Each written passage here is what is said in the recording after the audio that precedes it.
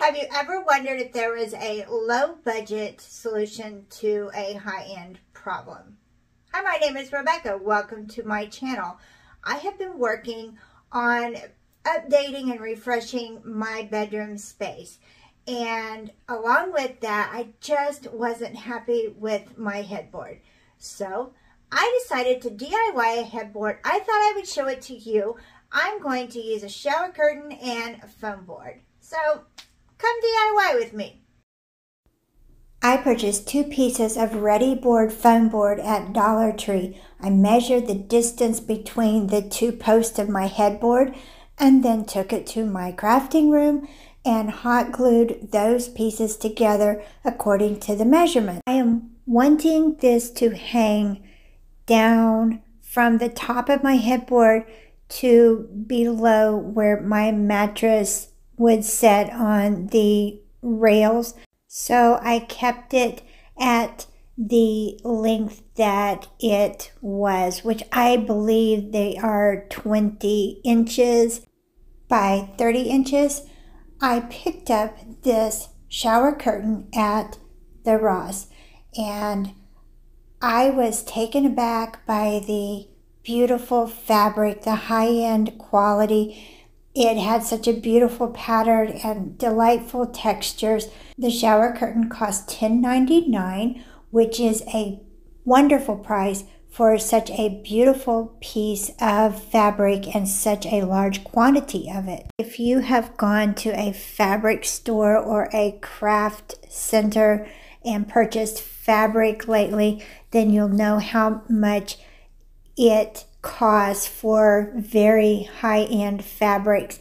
I laid my shower curtain out where I wanted the fabric to lay because it did have a design on it on the headboard piece and then ran some hot glue every so often on the foam board and I had some pillow stuffing that I used to lay over the foam board just here and there. Did not have to be very thick, but since I am attaching this to an existing headboard that is metal, I did not want it to make noise when I rolled over in the middle of the night. And I also didn't want to attach it more than just the two places. I purchased my bed about three years ago on Amazon, and I love my bed. However, there were a few things that I did not like about it, and then when I went to do my bedroom makeover, I wanted something more soft and not tufted, but just soft and a little bit more shabby chic looking. So this was a very cost effective way of adding that visual element to my existing headboard without spending a lot of money. I positioned my shower curtain over the foam board and the little polyfill tufting and then cut it down to size. There are so many ways that you could do this project if you were in an apartment or if you were just in your own home and you wanted something behind your bed, you could instead of attaching it the way that I did or putting it on an existing headboard, then you could attach it with command strips or you could attach it with Velcro directly onto the wall and this would work just the same. I am only showing you what I did so that you could get some inspiration if you were kind of in the situation that I was where it needed something but you didn't want to spend a lot of money on it. I went around the edges once I had it trimmed off, applied some hot glue, and then made sure that it was very tightly secured to the foam board and there weren't any strange little gaps and gathers or puckering on the front of my headboard. On the outside edges, I folded a piece of the fabric that would be on the backside in the interior of my piece and then I folded the front fabric over kind of like a present and then glued that into place. I did that so that my seams would be nice and square, very straight on the outside edges, and everything would have a very nice finished look. Just because this is a very budget friendly DIY and a very budget friendly fix to a no headboard situation does not mean that it will look cheap, unrighteous, or something that you would be embarrassed to have in your home. That is just not how I do things in my own home, and that is not the avenue that I would encourage anyone else to go down. I made sure that this was glued down very tightly because I have cleaned this with a little dust buster and made sure that I could vacuum it and none of the fabric would pull loose. So far, so good.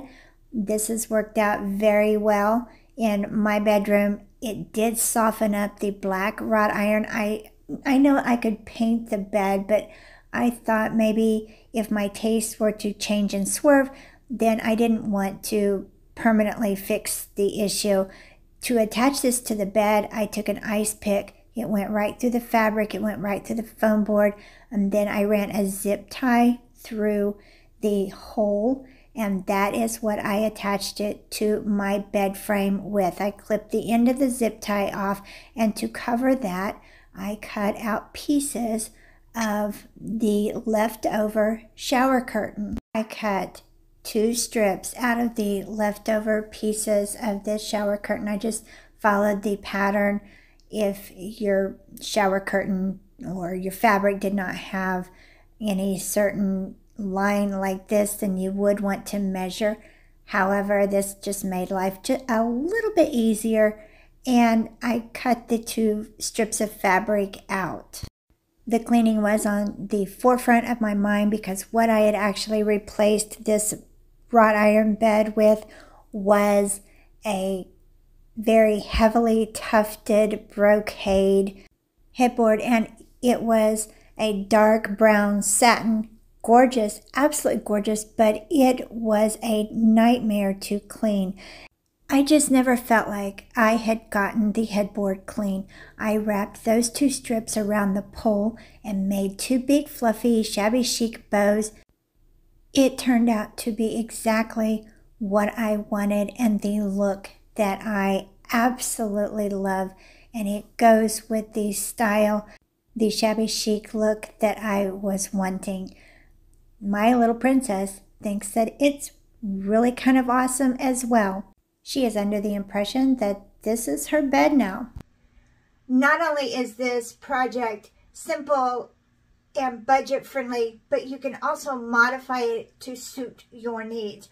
And it's perfect if you're living in an apartment or if you're waiting to decide what it is that you actually need or want and you're just having trouble pulling the trigger on a high-end item but you do need something to fill the space in and make it look more cozy and homey in the meantime. So don't forget to subscribe. Hit that bell so that you know when I've uploaded my next video. Give me a thumbs up. And thank you so much for watching Crafts, Laughs, and Chaos.